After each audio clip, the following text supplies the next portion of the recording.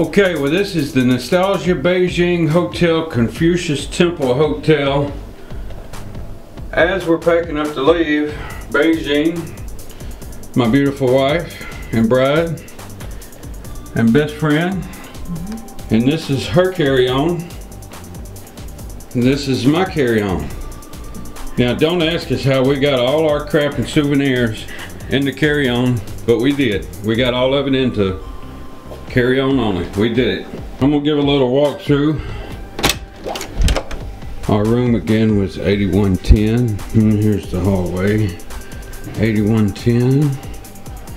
As we come around, we were on the first floor. It's a little stairwell. We never went up there or down there, so we have no idea what's there.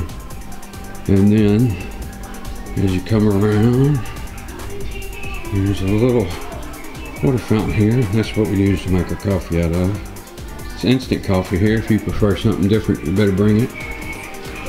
And then here is the in the entrance. And here is the parking lot. Now, I would definitely recommend mapping through Google Maps how to get here. It is a very difficult hotel to find. Here is our security guard, Beijing Nostalgia, and this is the parking lot. And then here is where you go to get the breakfast. They do have a little parking lot here. I think the locals eat here also. It's 20 yuan, which is about three US dollars per person. Uh, and it actually is a really good breakfast. The American pilot can handle it. Um, the lady in here that does it every morning is really nice. We brought her some apples. Uh, it's really clean. I give her kind of a, a walk around. And then as we're walking out, now I said in the past, this hotel is extremely difficult to find. Definitely Google Maps Street View the hotel so you'll get your bearings on where it's at. Because the local taxi cab drivers have no idea.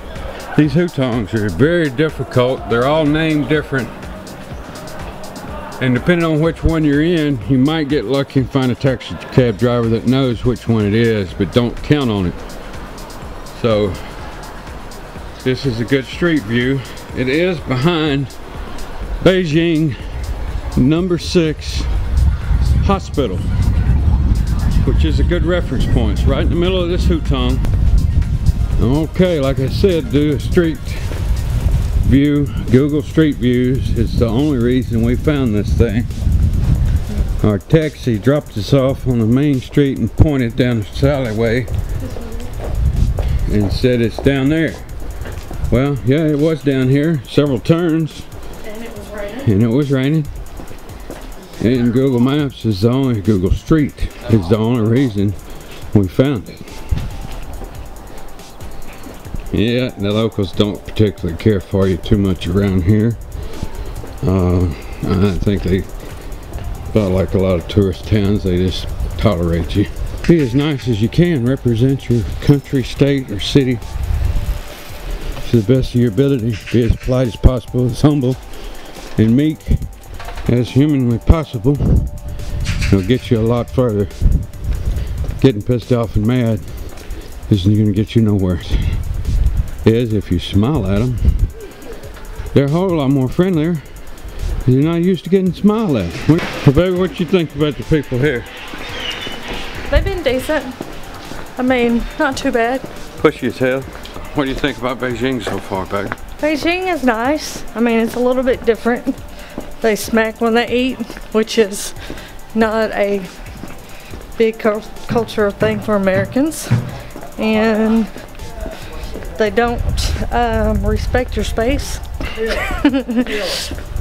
personal space. Personal space, yes. We have a lot more personal space in America than they do. They have a lot of PSIs. Personal space invaders. Personal space invaders. yes. Well, again, here we are. We're walking to the main drag, the closest one to our hotel, which is, like I said, deep in the middle of this hutong.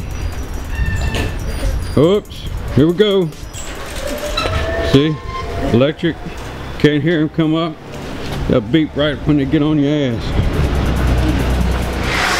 Then you get run over. Cause you don't care what they think.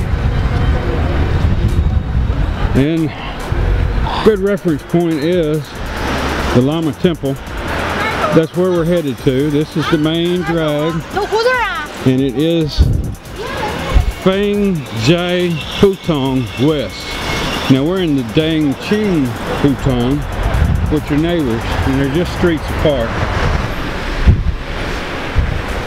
So the Lama Temple is a great reference point for your hotel if you stay in the, the Beijing Nostalgia Confucius. Even though it's closer to the Lama Temple, it is a great reference point. The subway is down this way. The subway is back that way. We found either one to be about the same distance. So depending on which side of the city you're going to, depending on which one you want to walk to. It's about a 12 minute walk to one. We heard seven minutes.